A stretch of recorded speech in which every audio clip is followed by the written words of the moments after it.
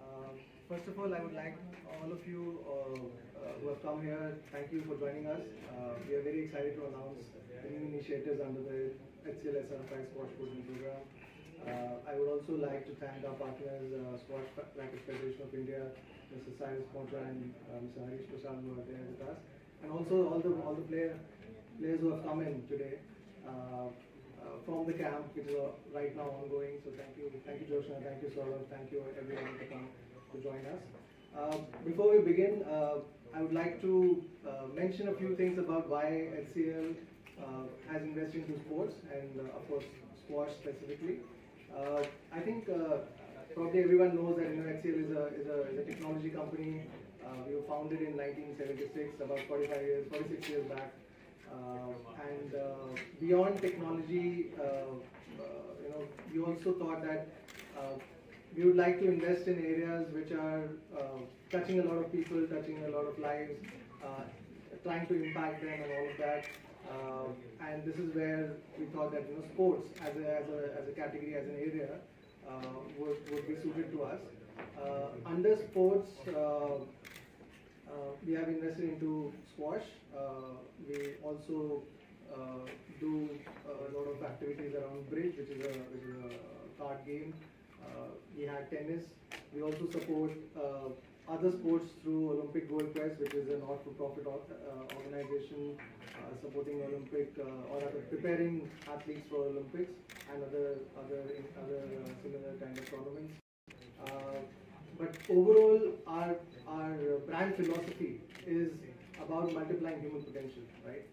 And which translates into uh, sports specifically, where uh, uh, we think that you know, rather, our objective is to multiply potential of athletes.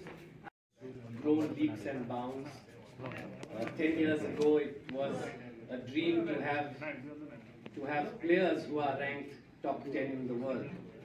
Uh, we have been fortunate enough to have three of our Indians to reach that, reach absolutely the pinnacle uh, in in the PSA rankings. Apart from that, we also recently won the World Doubles Championship, so that's something which has been amazing for us. Now, all of this, uh, you know, goes in with a lot of training for the players, and they have done their part. Uh, at the back end, uh, the federation supports them uh, as and when possible. Uh, Sports Authority of India, Ministry of Youth Affairs and Sport has given us also a lot of support over the last few years, uh, or the last two decades. And since 2019, it's been HCL who has been there to support us.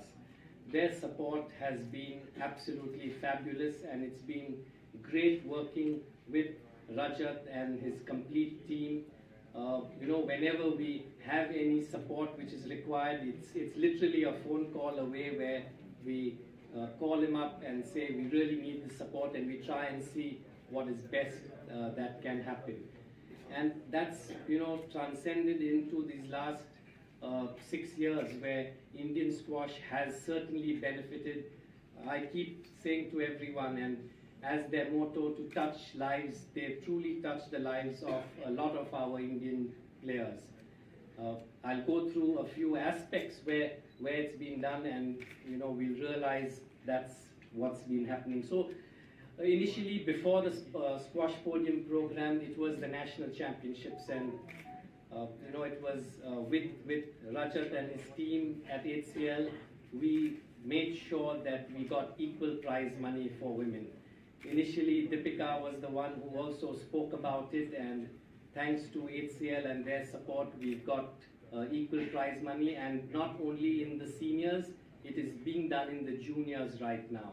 So as we speak, there is equal prize money across all levels in at SRFI events. Uh, so after that, we then started doing junior international events. Uh, the key was we started with Asian junior ranking events, international events, where our juniors got Asian squash ranking points. And that has helped as well when we go and play Asian events that our juniors are ranked.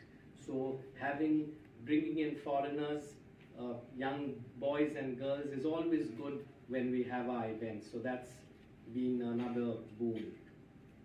Organizing PSA events at present, we've been the highest PSA event is a $20,000 PSA event where we've done a few. Uh, we've been doing otherwise generally uh, 6,000 and 12,000 Challenger Tour events. And that's been great. Uh, we had 26 players ranked, uh, you know, five years ago in, in the PSA. Today we've got over 75 and that's going to grow.